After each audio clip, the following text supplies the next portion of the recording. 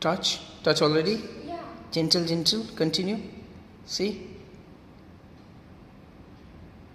Very good just hold on.